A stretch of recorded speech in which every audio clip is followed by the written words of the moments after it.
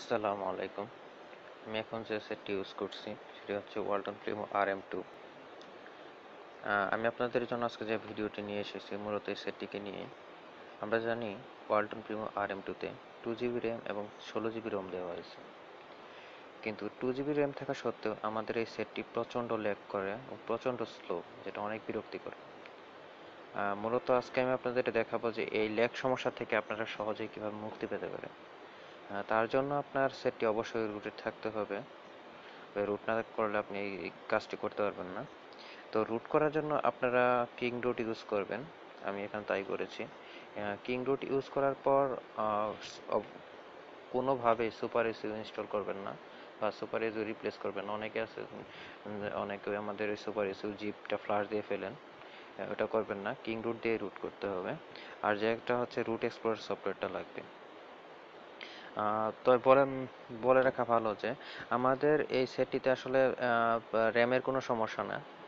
সমস্যাটা হচ্ছে আমাদের সিস্টেম ইউআই ডট এপিকেতে ওয়ালটন ডেভেলপাররা এই যে স্টক রুমটি ইউজ করছে সেই স্টক রুমের সিস্টেম ওয়াই ডট এপিকেতে প্রচণ্ড বাগ আছে, যেটা তারা ভালোভাবে ডেভেলপ করতে পারেনি।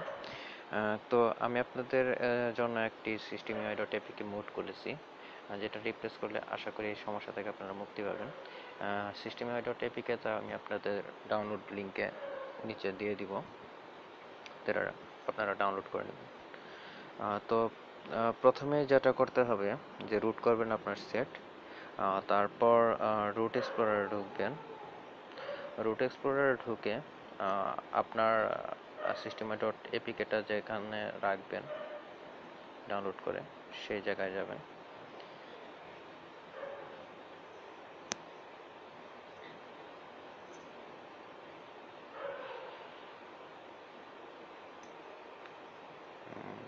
মোট সিস্টেম নয়, এটা হচ্ছে ডেভেলপ করা। এর সাইজ হচ্ছে আপনারা দেখতে পাচ্ছেন ফোর এমবি প্লাস কিন্তু আমাদের স্টক রুমের original system file size two MB plus তো এই জিনিসটা কপি করবেন, মোট সিস্টেমে ওইটা।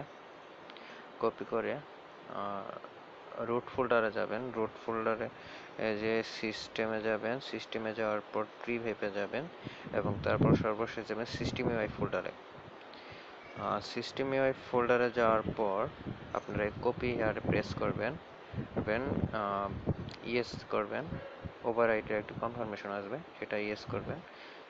এবং দেখবেন কপি হওয়ার পরে একটি ইরোড দেখাচ্ছে ইরোডটা ওকে করবেন একটু টাইম দিবেন স্ক্রিনটা কালো হয়ে যাবে, দেখবেন অটোমেটিক নতুন একটি সিস্টেম ক্রিয়েট হয়েছে। তো সিস্টেম আই ক্রিয়েট হওয়ার পর আপনারা যে পরিবর্তনগুলো লক্ষ্য করবেন সেটা হচ্ছে দেখতে পাচ্ছেন যে এখানে আমার ব্যাটারি আইকনটা চেঞ্জ হয়েছে। এখানে নেটওয়ার্কের আইকনটা চেঞ্জ হয়ে গেছে। আর তারপর যেটা করবেন, সেটা এরকম আসার পরে এআরএম ফোল্ডারে যাবেন। এআরএম ফোল্ডার থেকে এই সিস্টেম ডট ওডেক্স এই ফাইলটা ডিলিট করে দেবেন। কিন্তু এআরএম ফোল্ডার ডিলিট করবেন না। এআরএম ফোল্ডারটা থাকবে, কিন্তু এআরএম ফোল্ডারের ভিতরে যে সিস্টেম আই ডট ওডেক্সটা আছে, সেটা ডিলিট করে দেবেন।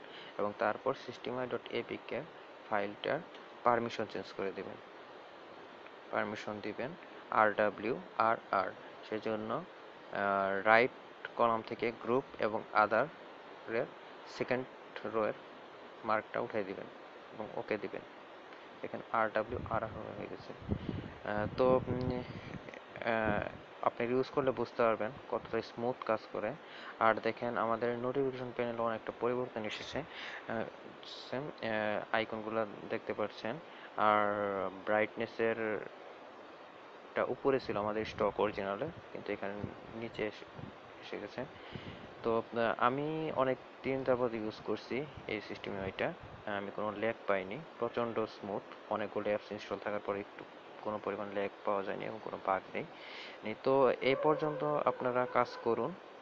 এবং কাজ করে যদি আপনারা সাকসেস হন, তারপর আমার নিচে কমেন্ট বক্স আছে, সেখানে কমেন্ট করবেন। আপনাদের সাড়া পেলে আমি এর দ্বিতীয় পার্টটা আপনাদের দিব। এরপরে আরও কি কি করবেন। তো এটা আসলে মেইন এরপর যেটা আছে সেটা খুব একটা কঠিন না, সেটা সহজ।